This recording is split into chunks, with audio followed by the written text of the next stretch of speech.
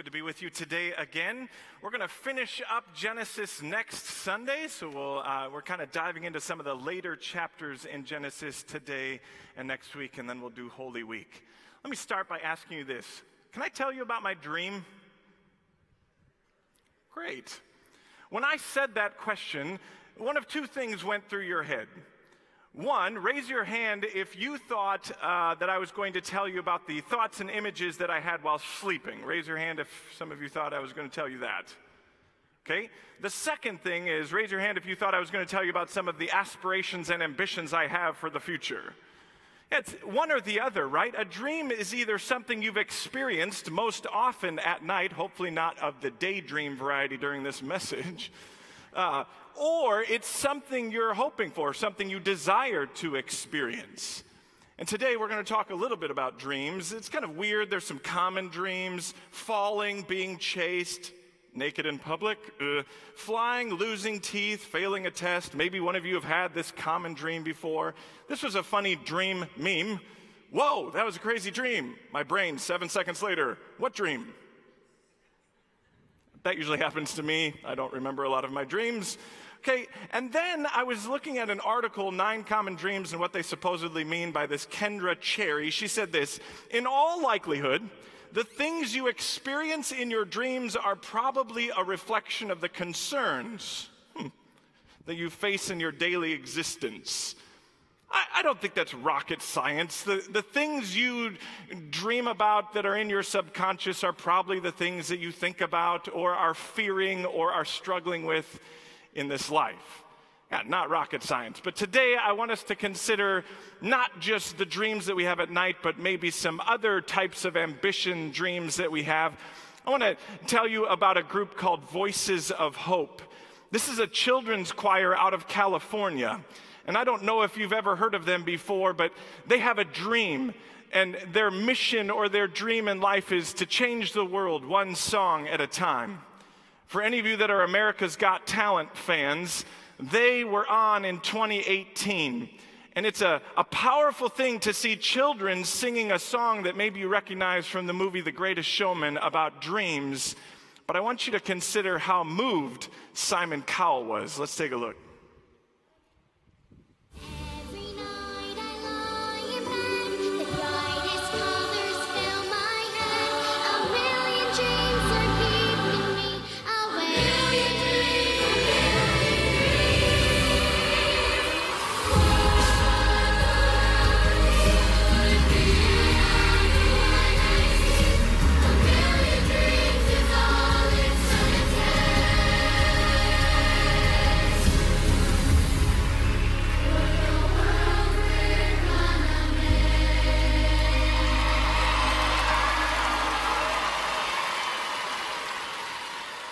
It's everyone's dream on a show like America's Got Talent to have Simon Cowell give them a standing ovation.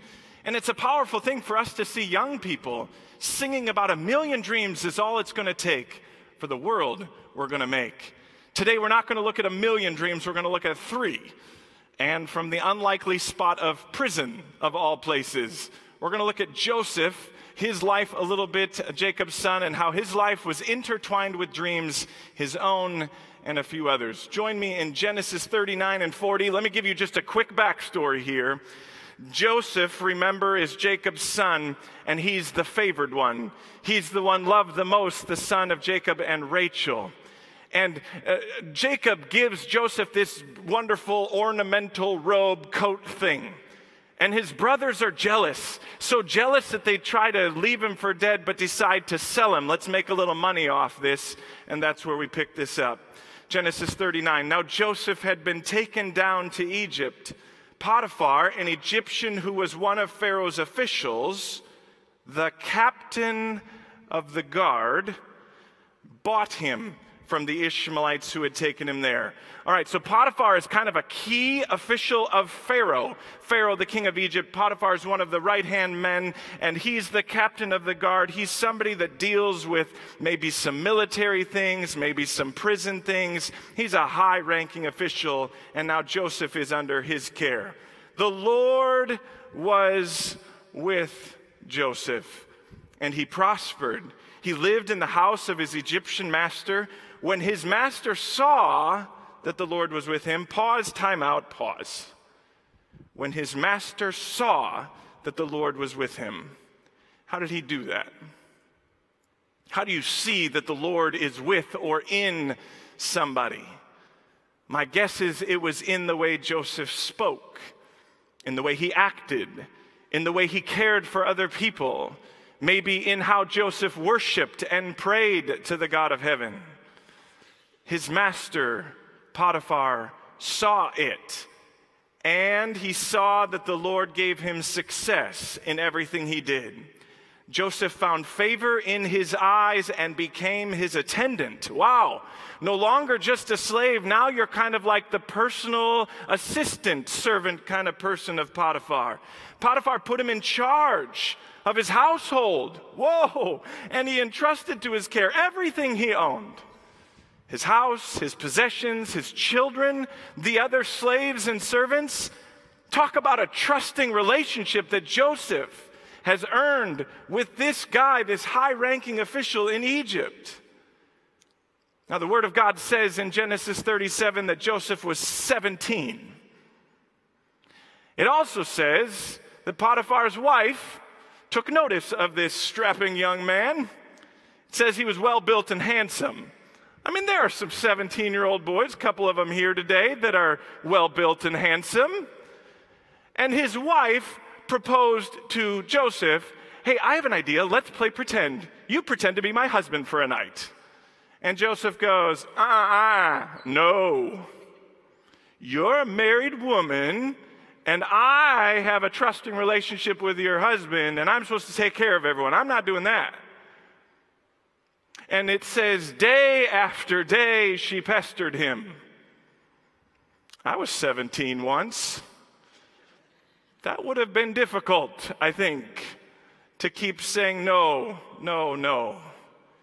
But there came this moment where she trapped him and she's got him in that spot, and uh, tonight's the night. You're being my husband. And he runs out of the house without his cloak on because she was grabbing onto it. He literally runs from the temptation naked. And Potiphar's wife decides to tell a different story to her husband a false story, accuses him of being the one trying to take advantage of her. And now Potiphar is in this weird spot. Do I believe this man that I have entrusted, this young man, or do I believe my wife? And there had to have been a weird relationship there. Joseph's master took him and put him in prison, the place where the king's prisoners were confined. But while Joseph was there in prison, the Lord was with him. Indeed, he was. He, God, showed him, Joseph, kindness and granted him favor in the eyes of the prison warden. So the warden put Joseph in charge of all those held in the prison. And he was made responsible for all that was done there. The warden paid no attention to anything under Joseph's care because the Lord was with Joseph and gave him success in whatever he did.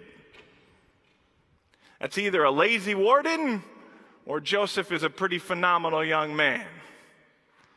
I'm guessing at this point Joseph is 19, maybe 20. And for any of you young people out there that think, I'm nothing, I've got nothing to give to this world, the story of Joseph is a pretty cool example of when life does a lot of ups and downs, God can work in and through you to be a powerful leader for Him. So Joseph is now in prison, and the, he's doing all the rounds. He's taking care of all the prisoners. He's checking in on them. He's making sure everybody is healthy and as happy as they can be, and the warden pays no attention to him. All right, now it's time to get to our three dreams. Ready?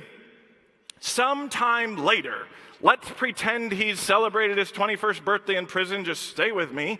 The cupbearer and the baker of the king of Egypt offended their master, the king of Egypt. Pause cupbearer. Okay? We don't have a lot of those in today's world, but if you know Bible stuff, if you know the story of Nehemiah at all, the cupbearer is probably the most trusted official to the king, to Pharaoh, because every meal the cupbearer brings Pharaoh or the master his wine. He pours it and he brings it. But before he brings it to the master, he tastes it. Why? Just in case someone was trying to poison the master or the pharaoh or the king, the cupbearer would then die, and the king would go, Oh, shouldn't have any of that wine. This is a pretty significant trusting relationship. And the cupbearer to the king and the baker to the king. I, will admit, when I was younger, I always thought that that word would mean like the chef or the head cook. In Hebrew, it actually means baker. So Pharaoh has a sweet tooth, and he's the guy, this guy makes all the pies and the cakes and the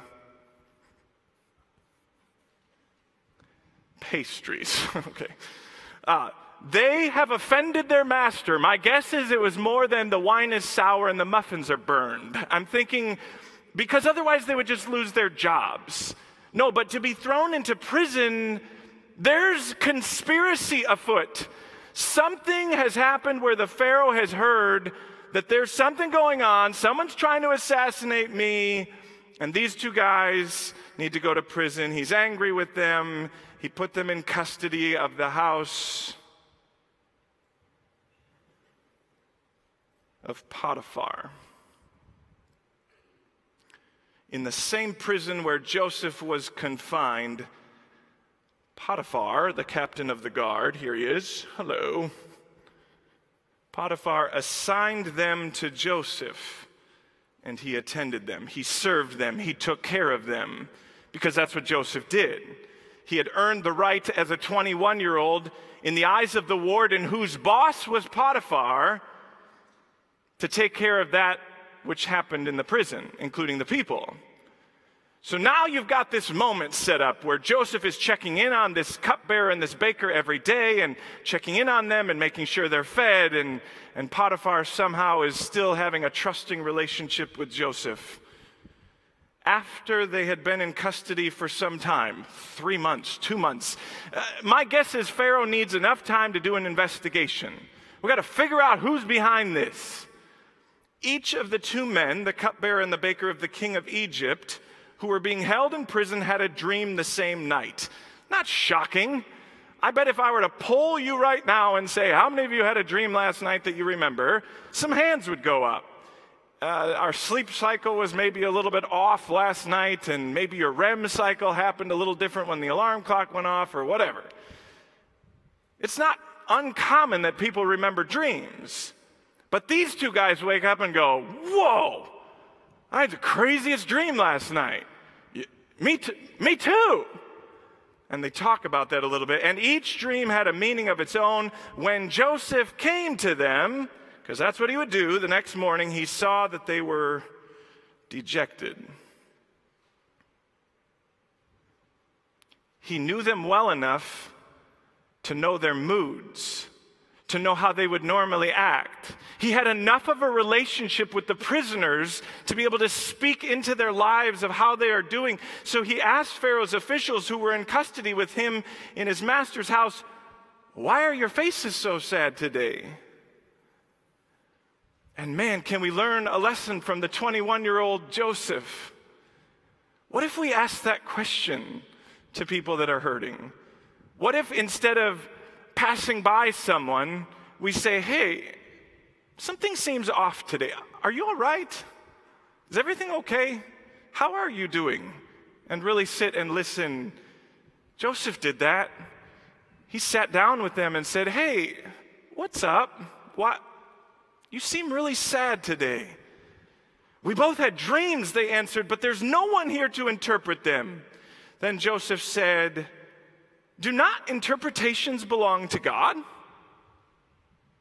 And that is a key spot for us today. When life gets chaotic or confusing, God is the one that can bring clarity. And Joseph knew it. Tell me your dreams, he said. Maybe God will reveal that to us. All right, so here's the cupbearer. And he says, So there were these three vines, one, two, three, and there were these clusters of grapes on the vines. And, and I was holding Pharaoh's cup, and I was squeezing the grapes into the cup, and, and then I gave the cup to Pharaoh. what does that mean? And Joseph says, The three vines are three days. And in three days, you're going to be restored to your position. You're going to be the cupbearer to the king again. You're going to hand him his wine. Great. Sounds like a good dream. And then Joseph tells him his dream, his ambition, his hope, his, his kind of plan. He says, But when all goes well with you, when you get your job back, when everything feels normal again, remember me and show me kindness. Mention me to Pharaoh and get me out of this prison. Here we're going to see the, the heartstrings pulled a little more. Joseph gets real. For I was forcibly carried off from the land of the Hebrews. I was sold into slavery, and even here, I've done nothing to deserve being put in a dungeon. I'm innocent, he says. So if you don't mind, cupbearer, who I've taken care of for months, could you just mention me to Pharaoh? Can you just help a brother out here, please?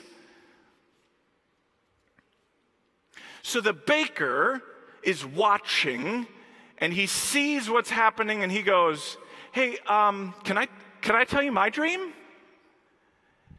And the baker says, So there's these three baskets and they were on my head. And on the top of the basket were all the yummy cookies and the muffins and the pastries.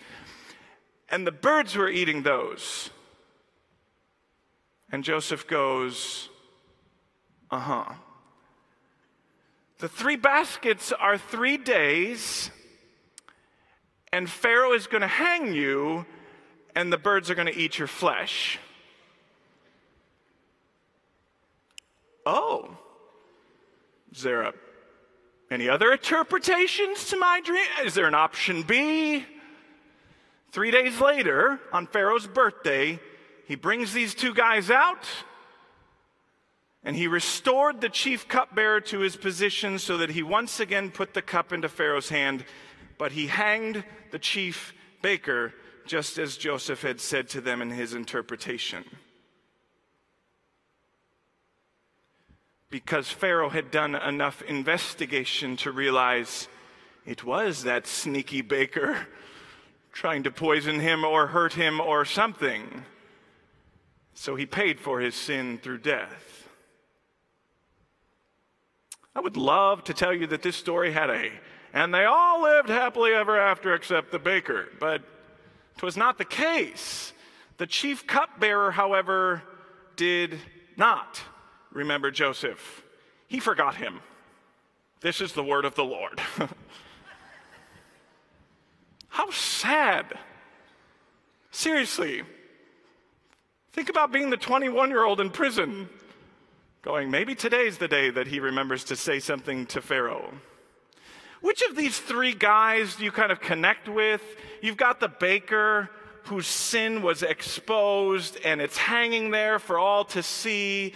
You've got the self focused cupbearer. Oh, man. And I, man, I'd love to blame people in the Bible when things happen and kind of it lifts off the page to me, but can you really blame him? He gets restored to his job. The first thing I'm doing if I'm that cupbearer is not saying, hey, um, there's another prisoner would you mind letting him out too? If I'm the cupbearer, I am putting my head down and doing the best job I can to restore trust with my master, right? But sometimes we get pretty self focused and we only see things through the Jason Schleicher lens. Or maybe we're a little bit like Joseph today and we feel forgotten and frustrated. Which, which of the three are you?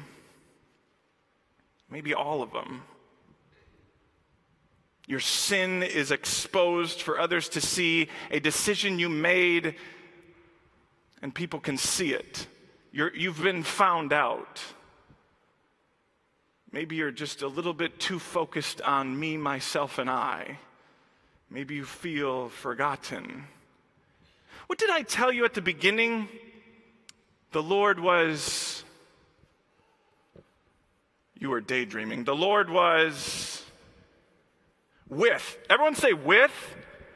Okay, the Lord was with Joseph, is what it said. When he got sold, when he was in prison, the Lord was with Joseph. God didn't forget him, and he doesn't forget you either. Isaiah 49 says this I will not forget you. See, I have engraved you on the palms of my hands. How precious is that? I love when God's word uses hands to describe something about our God. Isaiah says at other points, the righteous right hand of God holding you, lifting you up. God's hands has your name, your picture on it. And his hands were stretched on a cross.